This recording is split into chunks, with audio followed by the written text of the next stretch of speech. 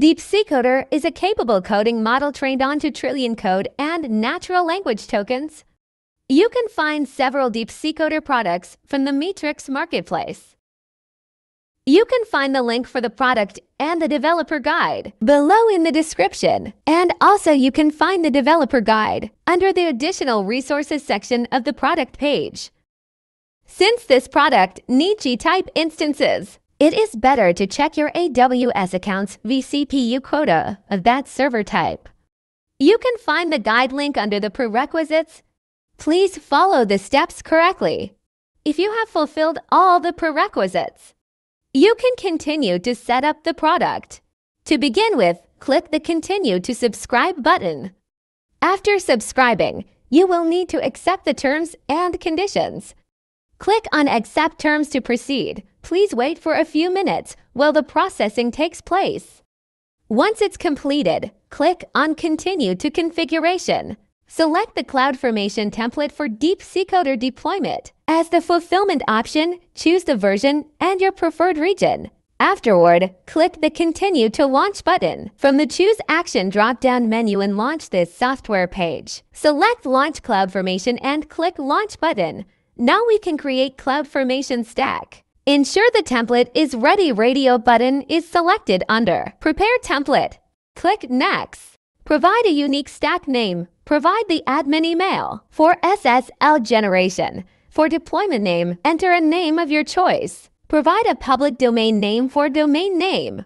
DeepSeekCoder will automatically try to set up SSL based on provided domain name if that domain is hosted on Route 53. Please make sure your domain name is hosted on Route 53. Choose an instance type Recommended is G5G.16x large.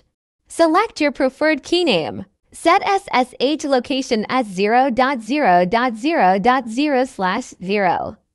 Keep subnet CIDR block as 10.0.0.0 slash 24. Keep VPC CIDR block as 10.0.0.0 slash 16.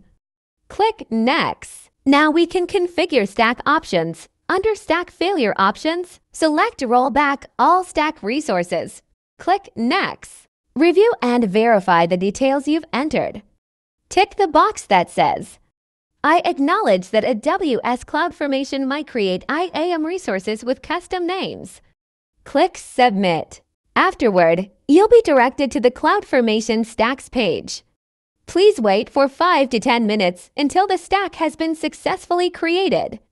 Fast forwarding 5 to 10 minutes. After CloudFormation is created, we can update DNS.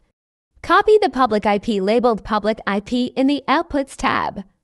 Go to AWS Route 53 and navigate to Hosted Zones. Select the correct hosted zone.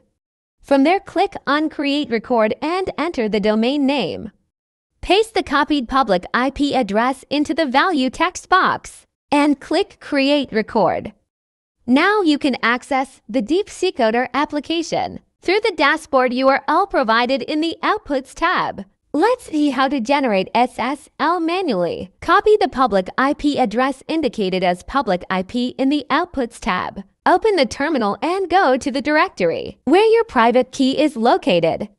Paste the following command into your terminal and press enter. SSH-i your key name Ubuntu at public IP address.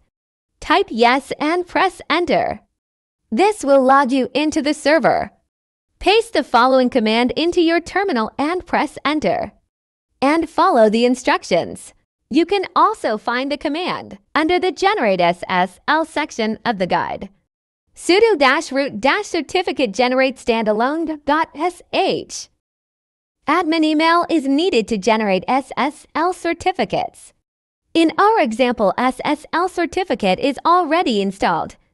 Now you can access the DeepSeekCoder dashboard. You can find the API documentation in the developer guide. Enjoy DeepSeekCoder!